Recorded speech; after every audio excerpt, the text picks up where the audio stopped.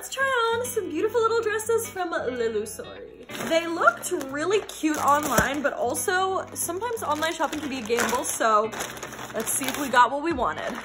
Oh my gosh, you guys. I didn't expect to be as obsessed as I am. This one is a little square neck number. I love these little ruffly sleeves. Also, something that I feel is important to mention, I'm wearing really, really dark underwear and you actually can't see it and this is literally a white dress. Did not expect that. If there's one thing I love in a dress, it is a puffy sleeve and it is an off the shoulder moment. The fabric is soft, but it's also like very casual. This is the kind of thing that I would like throw in a bag for a vacation. I give this a 10 out of 10. I will be wearing this all summer long. My 100% completely honest opinion is that I am like incredibly surprised at how much I love these. Don't just like sit there. Run and get these at the link in my bio.